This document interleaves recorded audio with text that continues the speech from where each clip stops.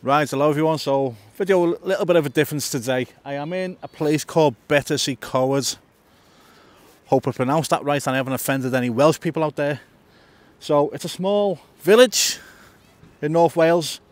Um, population, not sure of, I haven't googled it. Um, but it's very small. You can walk from one end to the other in about five to ten minutes. It's that small. One main road running through it, but there's quite a lot of things here. There's quite a lot of shops and uh, eateries if you like. It's got a train station, which I'll show in a minute. Got me lad behind me kicking football. Um, yeah, so I've been away all week, um, been out to Liverpool, so I haven't been out to do much Liverpool stuff, either football club or with the homeless um, outreach teams, which I'm a bit gutted about, but I've needed a little bit of a break, so here I am. So this place, I've been to here quite a few times, so I'll, we'll take a little walk through. I'll show you some places that I know of, and hopefully you can edu educate me about the place as well. When I come back, I can do another video about it. But yeah, but we'll go and see what's what, okay? So first port of call behind me is St Mary's Church. Um, the church was built in, well they broke ground in 1870 and it was finished in 1907, so around 37 years to build. The cost was $5,000. Uh, $5, the cost was £5,000 at the time, which in today's money equates to around half a million quid. I think it said 470,000, but let's call it half million. Um, don't know what it's cost to maintain over the years because this will need a lot of maintaining. But yeah, it's a stunning place, as you can see.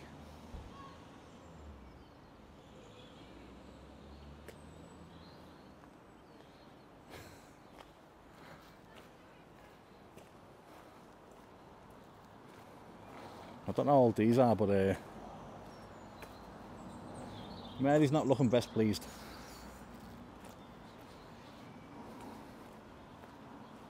I was just meant to be Joseph.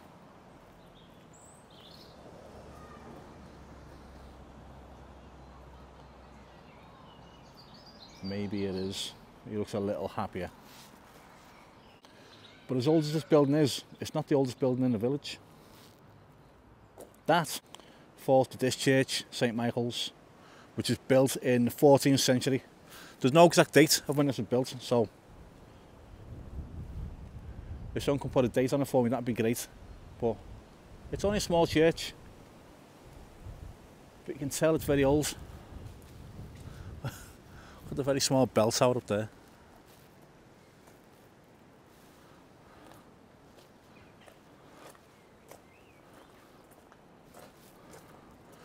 Now the chase doors are open. We, we have a quick look inside?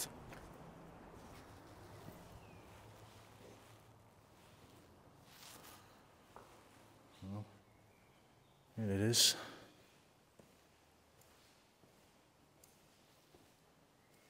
There's not much to it.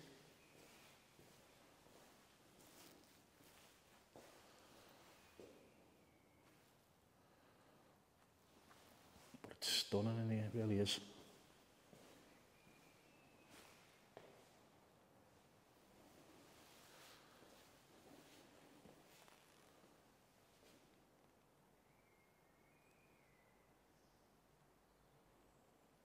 And someone in full armour. Grufford ap Difford Goch. I will look that up and find out about it.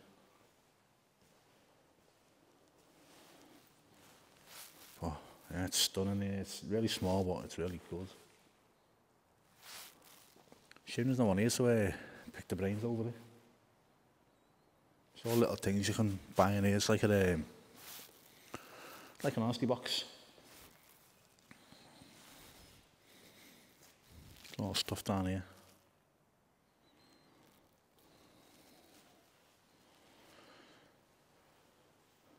price list.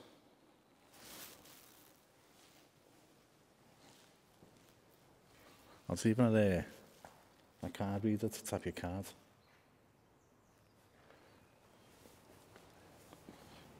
As old as it is, they've got with the technology. But yeah, it's amazing. Right, on to the next place. Um, Anna Davies, that's a bit interesting, that one. But before we go and see Anna Davies, I've just come across this uh, old train here. Let's turn you around. It is this.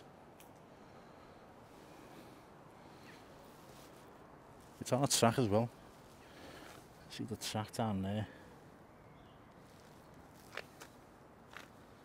See better through there, I think. I have no idea about trains, so yeah. Any help on this would be great. So it must be a tourist attraction, it says there. Closed for refurb.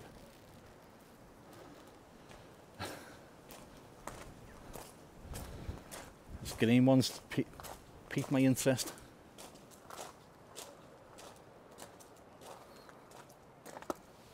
It's got, oh, it's got like fairground equipment in there. Alright. Like a little dinosaur right there. Is it open at all? That's well and truly shut that. Shut tight that. Padlocked here. Yeah, look at it. I'll do some research into this because I'll, I'll be coming back here because I love coming here. It's um, one of my favourite places to come to. It's small, it's compact, and it's dead easy to get around. And there's lots to see. And as you can see with that church, there's quite a lot of history to it. But now, onto Anna Davies. I didn't know you could get to this side of it, so here it is on its track. It reminds me of Back to the Future. Back to the Future 3. Yeah, there's more signs on St. Close for refurb.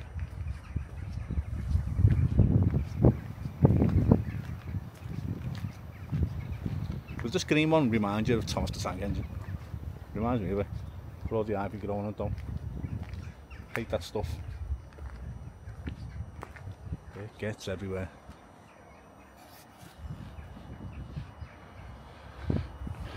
And this is Betws y Coed train station. Now there's all shops that lead onto the platform here. Uh, one of them is a bit further down over there. The red benches. There's a, it's a nice little cafe. Had breakfast there earlier, it was lovely. Oh yeah. Definitely, definitely, definitely, definitely on to Anna Davies now. So this is Anna Davies. Anna Davies opened her first shop in 1956 when she was 16 years old. She originally opened it as a, a, a wool and textile shop and I believe it's this one here that she first opens up. Then as the years went on she branched out and as you can see today she owns this whole row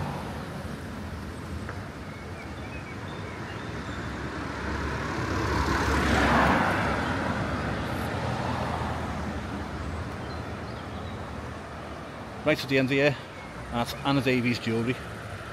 Now, interestingly enough, in 1971 she marries and changed her surname to Evans, so she's now Anna Evans, but obviously kept the name of Anna Davies as a brand name. When she married her husband in 1971, she purchased this, the Royal Oak Hotel. So from the end of the pub all the way along is the Anna Davies brand, including the Royal Oak Hotel, which apparently is haunted. So I might book a night in there one night. Try and do a ghost hunt. So my favourite place to be is here. I think this is the, the selling point of this place. The waterfall behind me. Like a mini Niagara Falls.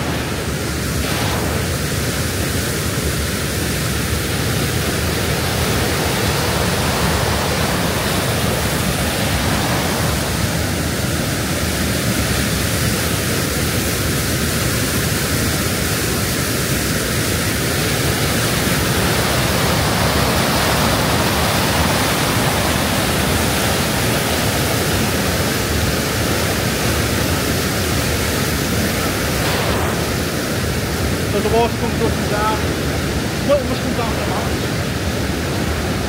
When when it rains, it's even heavier than this. It comes a lot higher as well. But this is the only roughing part. Because once, once it gets past here, down here, it goes through that bridge. It goes to calm and levels off. So, this way it rushes down there. Looks a bit rough, but once you get past here and down through there, it's nice and calm again. Just a little bit of a whitewater rapid here. Yeah, so that's a flying visit of Betws y Coed. There's plenty to do here. There's the shops, there's, well, there's a lot of hiking shops, but a lot of hiking trails as well. There's trails you can go on. There's, I think there's a two mile trail that you can uh, end up at Swallow Falls, big waterfall you can go to. Um, plenty of restaurants, hotels, pubs, loads to do here. Wouldn't say come here for a week, but it's, it's, it's good for a, a, weekend or a few days away. Especially if you're travelling, travelling around Wales. It's good to see. If you like it, you want to see more like this, let me know. Let me know if you know any more that I don't about the place. that really rally me out. I could come back and do, you know, a more in-depth video of it. Um, leave some comments, give us a thumbs up if you like it. But apart from that, speak to you all soon. Bye now.